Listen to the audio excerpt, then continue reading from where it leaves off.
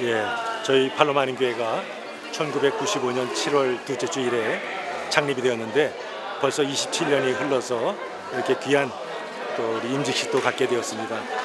지나간 세월들을 돌아볼 때 참 모두가 하나님의 은혜고 또 우리 교우들의 헌신과 격려 속에서 오늘까지 왔다 생각합니다. 먼저 하나님께 영광 돌리고 또 우리 교우들께도 감사를 드립니다. 그러므로 주님의 몸된 교회가 주 안에서 더욱더 아름답게 성장하고 또는 건강하게 또 이 사회에 대해서 공헌할 수 있도록 계속해서 또 저희를 위해서도 기도해 주시고 격려해 주시기 바랍니다. 감사합니다.